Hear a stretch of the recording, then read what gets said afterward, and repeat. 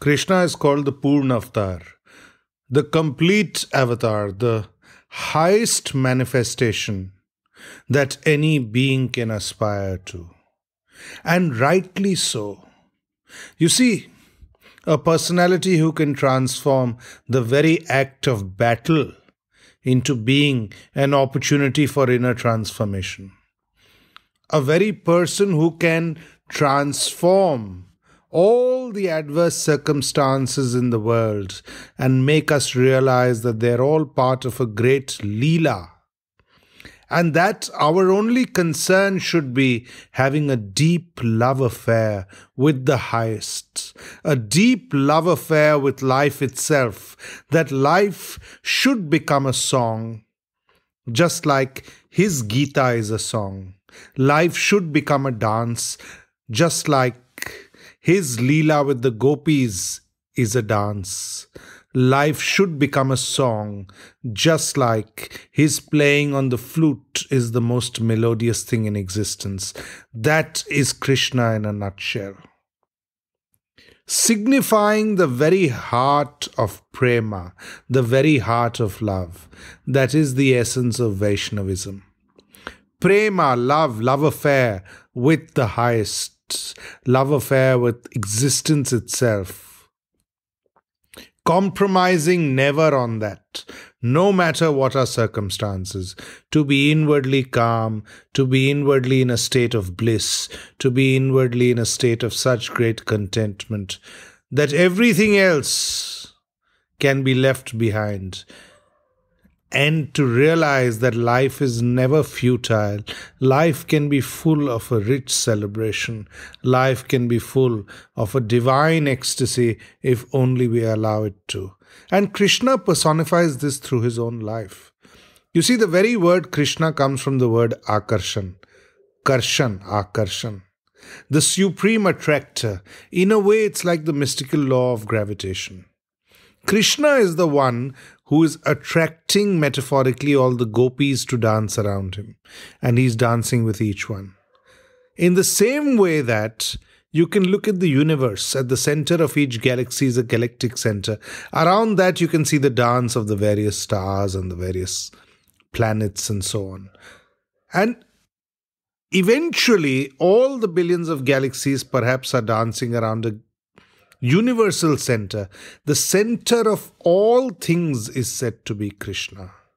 Just like the Sudarshan Chakra is revolving around his finger, so too is all of existence, all of the cosmos, all of life revolving around his very presence.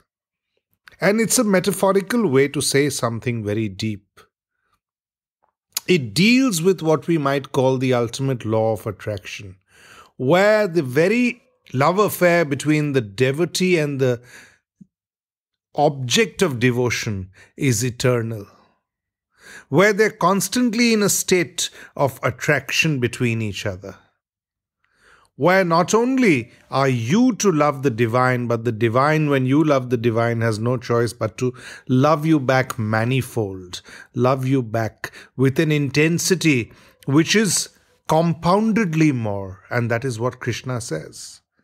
He says that whatever the devotee offers, he compounds it a millionfold. He gives it back, and that is the Vaishnav way, the Baul mystical way of looking at Krishna. The ultimate dancer, dancing on the snake Kalia, dancing amidst all circumstances, dancing amidst adversity turning everything into a song celestial, into a Bhagavad Gita. Turning the very battlefield into a Bhagavad Gita. But there are other aspects, turning this whole episode in Vrindavan into a different sort of Gita, turning the whole episode of Mathura into a sort of a Gita. So, the different phases of his life, from the Bal, from the Gopal to the Parthasarthi of the Bhagavad Gita, of the Mahabharata Krishna signifies the dancing god. And there are so many life lessons we can directly imbibe. You see, particularly because his philosophy is a very practical one. He says that no matter what your inclination in life, what your calling in life, you can fulfill that, and you, in fact, should be fulfilling that with the fullness of your heart. That is what he's teaching Arjuna in the Mahabharata. That is the essence of it. Don't worry about what you need to do. Just act according to your self nature. Everything else will fall into place. So that's the first lesson. That is the meaning of dancing your own dance, singing your own song. You have your own song to sing in life. You have your own dance to dance in life. Function according to that. You see, Krishna is supremely adaptable. Krishna does not stick to a particular ideology and so on, which is why throughout world mythology you'd find echoes of Krishna in all traditions. For example, in Christianity, the old Latin word Christos, that is the base of the word Christ, Jesus Christ, is very akin to the way that Krishna is called in Bengali Keshto. You see, their whole story of Christ being born in a manger, Krishna being born in a jail, both hiding from this tyrant king, their parents, their parents in danger, the child in mortal danger, and eventually the child being born in these strange circumstances, but eventually vanquishing all in a spiritual sense. So, the story of Krishna is an archetype of the highest truth. It is not just about Krishna, it is about the archetype of the highest truth. And that is why his color is blue black. It signifies the colors of infinity. His very life signifies the bridge between man and the supreme truth. And you know, in the Indian tradition, Krishna has been called the milker of the Upanishads. He's he's said to be the one who brings out the essence of the Upanishads not only through his message in the Gita, but through the entirety of his life where you realize the highest within yourself, where you realize Aham Brahmasmi within yourself, where you realize Tattvamasi within yourself, where you realize that your energies in life need to be balanced. Your energies in life need to be in such a harmony because only in harmony can you truly sing your song. Only when your energies are in harmony can you feel that you are able to function effortlessly? Can you feel that you are able to go into the very depth of yourself and function from there? Functioning from your ultimate capacity, that is what Krishna stands for. You see, the Baul mystics of Bengal have a very interesting take on Krishna. Their version of Krishna is not so um, conventionally moral. And Krishna lends himself to a slightly immoral, off track sort of a connotation because his whole life is about ecstasy.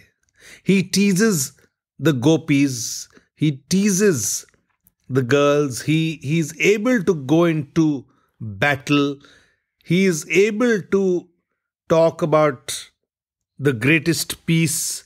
So he is many things. And the Bauls of Bengal say that we only know Krishna when we are able to drop all our conditioning, when we are able to drop all our conditioning about what the divine stands for. Normally, we think of the divine as being somehow very, a very, you know, to get to the divine, we need to be in a very saintly sort of a consciousness. We need to be in a very um, religious minded sort of a consciousness. But no, when it comes to Krishna, that's what we don't need at all. We just need blissfulness in consciousness. Then only are we able to understand Krishna. Without that, we are not able to understand Him at all. How can you understand infinity if you already have preconceived ideas about it? You have to go with a consciousness which is completely without content, which is completely established in its innate nature of joy, in its innate nature of bliss. Otherwise, you're sure to misunderstand Krishna. Because then your mind will be telling you oh this is wrong that is wrong this is this he shouldn't have done in his life. He shouldn't have participated in the mahabharata war. You see it's not correct for him to take sides in the mahabharata war for example. Or somebody might say it was not correct for him to marry so many people so many women. Or somebody might say it was not correct of him to tease the gopis in the village. But that that's the thing with Krishna. He's a contradiction in himself. It's very difficult to categorize him in any category. It's very difficult to label him. He is full of contradictions, and that is the beauty of Krishna. Amidst contradictions do we exist in the world. The world is a heap of contradictions. Where there is black, there is white. Where there is light, there is darkness. Where there is joy, there is sorrow, and so on and so forth. We have to accept both sides of the coin, and that is Krishna's basic message. Accept everything, participate in everything, but don't get identified with anything. That is immature, and that is exactly what he is telling Arjun in the Gita also.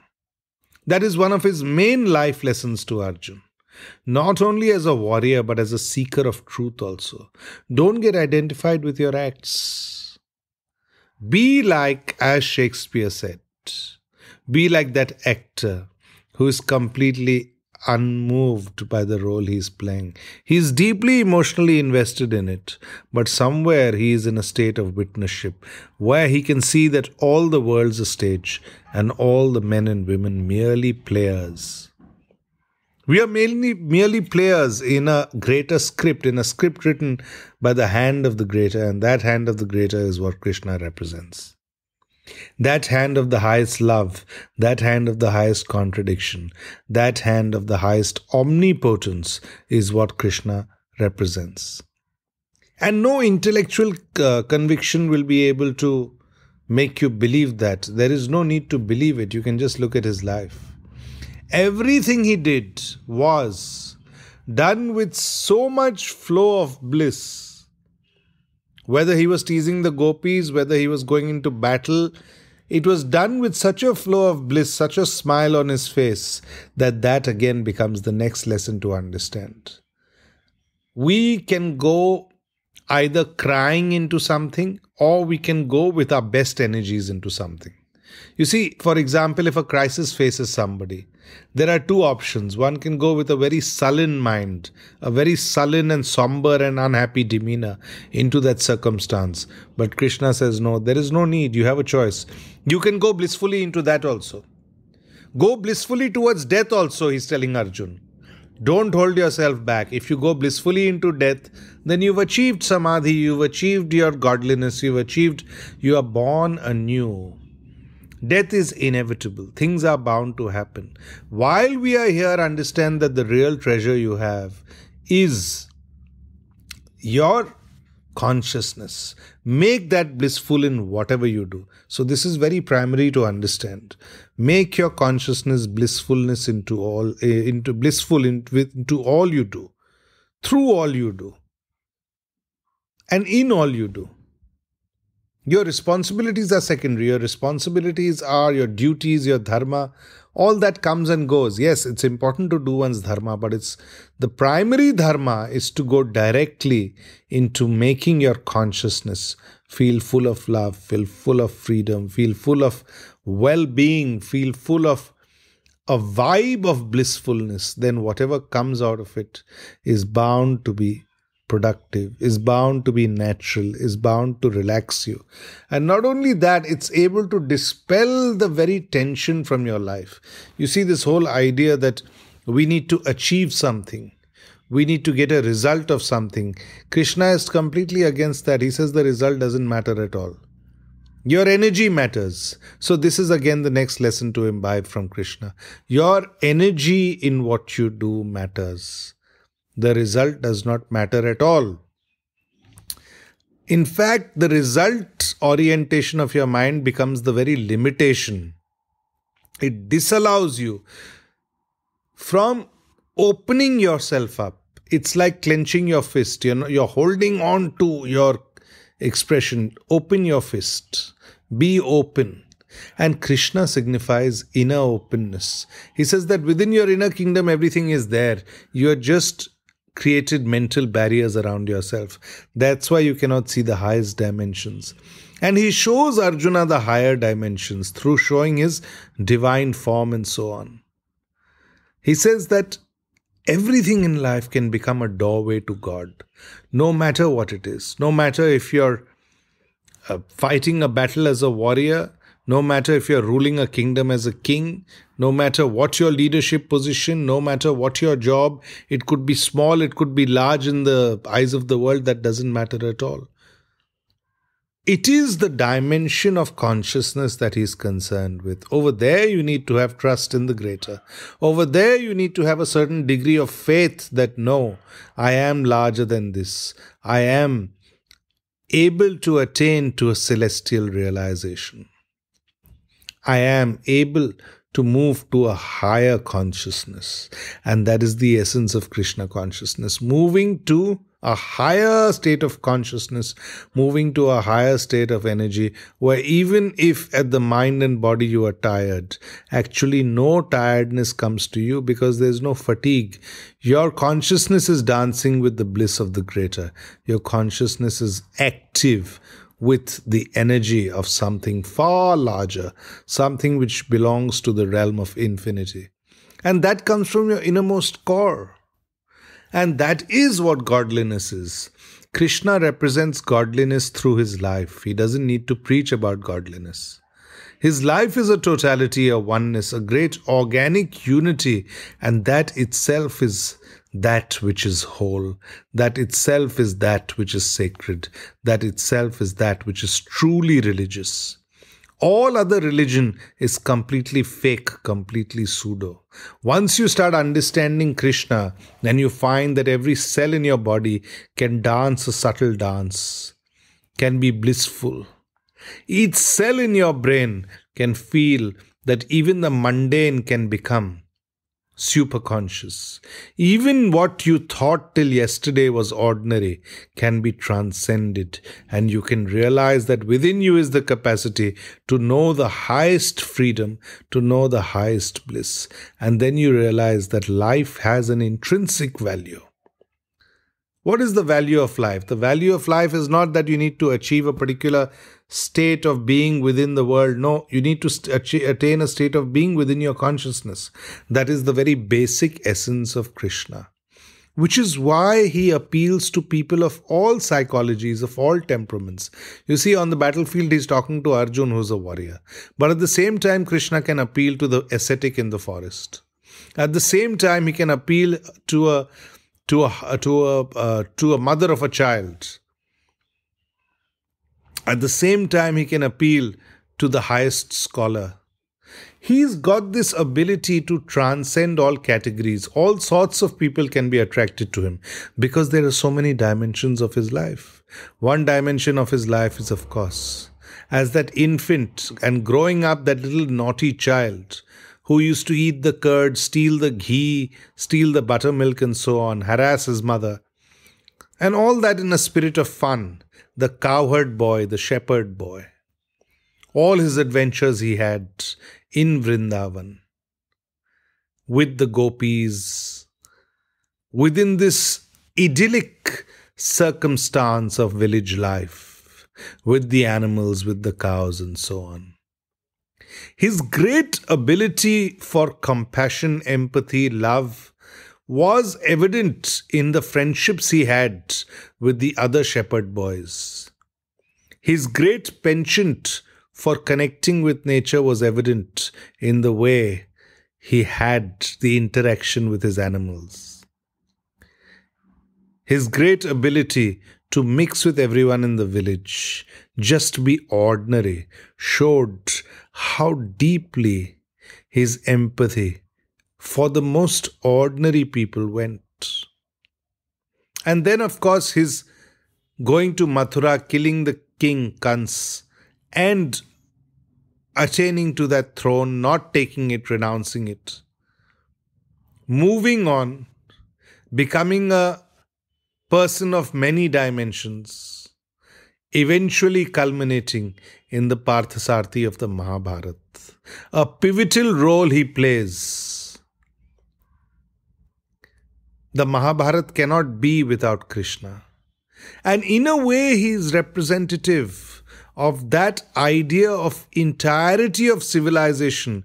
The entirety of civilization will collapse if there is not that consciousness of a Krishna within it. And this is the crisis we face in the world today. You see, had Krishna not been there for the Mahabharata, civilization as might have got completely destroyed. It was moving towards that. But because of his presence, the war for justice was fought in such a manner that eventually civilization could continue. Man could continue to flourish in many ways. Evil could be destroyed. The boundaries and the crisis facing man could be overcome. But in today's age, again, we have to understand that. Therefore, Krishna consciousness is more needed in the world today than ever. We might not be having Krishna in person, but the consciousness that he represents, the blissfulness that he represents, the wisdom that he represents, needs to be available to us even today. And what does that mean? What does that imply? That implies that we have a spiritual radiance and a spiritual understanding through whatever our pursuits in life not just as individuals, but in our collective consciousness. You see, man has become such that there's so much technology at our fingertips. We have so much technological energy available, but where is the concomitant energy of consciousness to be able to put a check on that? One cannot expect politicians to do it. One cannot expect nation states to do it. It can only happen within one's own being and within one's own being is the ability to attain to a great calmness, to attain to a great tranquility, to attain to a great balance. Through that, you create a vibe of all these factors within your immediate circle, and by and by, that is how you can spread your light in the world, and society eventually can also benefit by the value of your internal being. That is what it truly means to be mindfully alive. That is what it means to be truly consciously alive. That is the vibe which a for example, a Buddha creates in the world. His very presence creates a vibe which frees people from fear, which frees, frees people from anxiety, and so on. Now, naturally, we are not Buddhas naturally we are our, we have our material desires our material pursuits and so on. And that is where krishna is very relevant because he says you don't have to renounce the world and become a disciple of the buddha. He says you can flow on in your life. You can flow on in your material activities. You can flow on in your everyday circumstances. But in that also be born anew from within Feel resurrected into a state of bliss. Every day, wake up in a state of bliss. Do what is suitable for your self nature, but at the same time, do it with a great honesty of purpose, a purity. And then your consciousness remains young, youthful, pure. The biggest problem in life is that people are doing things which they don't want to do. They're going against their own highest nature. Krishna says your own highest nature is all knowing. It does know what to do, but you have to listen to it because it's it echoes the voice of this greater. It echoes the voice of the macrocosm. You see, all our anxieties in life arise from the fact that we think we are doers. We are doers of everything that we do. No, we are placed in positions where things happen. And yes, while free will has a hand in what we do, it is always the greater action of the universal energy which is acting through us. Accept that. That is the whole significance, the whole metaphorical significance of Krishna playing on the flute. The flute is the world, the fru- fru- flute is the Jivatma, Krishna is the Paramatma. The Paramatma plays his tune through the flute of the world, or through the flute of the Jivatma, the individual, you and I. But the melody comes out real and true if the flute is clean, if the flute is allowing that melody to flow through it unhindered, then whatever you do comes through in harmony. Then only do you become an instrument of the greater. And this very philosophy of that common bamboo flute which Krishna plays is echoed through the highest Buddhist philosophy also. It is echoed through Zen philosophy to become a flute. It is echoed through Taoist philosophy of Japan, of uh, China. You are to become a flute through which, an instrument through which the greater acts through you. And that is what Krishna tells Arjun. He says, Arjun, just be an instrument, I act through you. Know yourself to be an instrument, and then your heart will dance. Your mind will dance. You'll forget all your anxieties. You'll attain to a blissful state of mind and heart. You look at things with empathy because suddenly you realize that there's nothing for you to be anxious about. You can be free in your action because you know that the greater is acting through you. Once you do that, that is the act of surrender. Then you feel that you go from the non essential to the essential in life. Freeing your energy, surrendering it, and allowing the greater to act is the greatest act of dynamism that a person can do. And that is the hallmark of very dynamic people, actually. They function with a sense of abandon. You see, in the samurai tradition, it's called a sense of recklessness, where the warrior, when he's on the battle, just acts as the body takes him. There's no thought involved. Our minds are the uh, uh, impediment. Our minds keep stopping our action, keep stopping the flow of the river of action, as it were.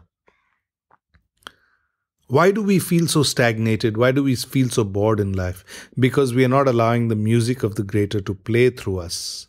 Let it play with its joy. Let it play with its full volume. Let it play with its completeness of harmony through us. And then you realize that you can be fulfilled through all happenings of life. The river does travel through the valley, the river does travel through stony path, uh, through stony circumstances it travels through many pathways until it reaches the ocean, but all the while it flows. And it flows with a certain energy. So too should our life be. Flowing through all sorts of things. Eventually becoming one with the ocean, and that is what Krishna represents. Which is why he is utterly unique. You see, Buddhism cannot conceive of a god like Krishna. Judaism cannot conceive of a God like Krishna. Christianity does not have a God like Krishna. Krishna is unique. Krishna is his own utter individual being, completely like no other. And that is how we should be celebrating him. To understand that it is through this uniqueness that we become enlightened not only within ourselves, but are able to understand the reality of the higher. No institution can do that for us. To understand the personality of Krishna does not need any institution, it needs a certain energy vibe through which you can connect to his higher truth. Only then can you attain to a heart to heart relationship with Him. Otherwise, you can be completely closed. No book is telling, is going to be able to teach you how to establish a relationship with the higher. The only way to do it is to feel such warmth, such a vibe of prema, such a vibe of love in your heart and mind that you are bridged with the ultimate through the very act of bliss. The very act of bliss is the only way to come close to God. That is the Vaishnava way. There is no other way to come close to God. To come close to the highest manifestation of nature, the highest manifestation within existence, is to be connected through it to it through the treasure of loving capacity within us. Let it overflow. Let it come across blissfully through you. Then only can you understand life to be a celebration. Then only can you have a deeper trust in life. The alchemy of inner transformation the ability to change a base metal into gold exists within us. Alchemy is only a metaphor for saying that we are base metal if we think of ourselves as body and mind, and we transform ourselves into body, mind, and spirit into pure gold once we understand that we are instruments of a higher power, once we understand that we are instruments through which the prema, the love of the highest spark, can flow through us, that we are capable of infinite beauty, infinite compassion, infinite consciousness, infinite bliss, and infinite love. That is alchemy. That is the ability to transform your self image from being one of limitedness to being one of infinity, to feeling like you belong to eternity, to the timeless realm, then does our communion with the greater happen. Then do we have a great spaciousness within our being. And creating that spaciousness within our being means what? It means getting rid of anxiety. It means allowing the soil of our heart and mind to be ready for the seeds of happiness which Krishna is constantly spraying. You see, it is said that if the soil is ready and then the seed falls, there is no stopping the growth of the fruit bearing tree. And that is the way Krishna is looked at within the world. All we have to do is prepare our soil of heart and mind. And through that, comes about the greatest miracle. In Indian mythology, it is known as the guest coming and knocking on the door. He is ever knocking. Krishna is ever knocking on the door. Heed the call, open the door. It's completely up to us. And then the energies of the Jivatma and the Paramatma become joined. The energies rise together in a complete and spontaneous fulfillment a multi dimensional fulfillment. You see, Indian mythology looks at life not so much as a dichotomy between the divine and man. No. In the Abrahamic traditions, there's a very clear cut dichotomy. There is the divine, there is God, and there is man, Adam and Eve, and so on.